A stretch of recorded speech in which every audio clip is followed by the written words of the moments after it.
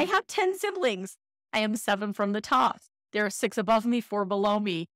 And if you weren't talking loudly, you weren't getting heard. If you didn't get up to get food, like right when it was served, then you were going to go starving. So if I wasn't in a hurry, then uh, I would be left behind.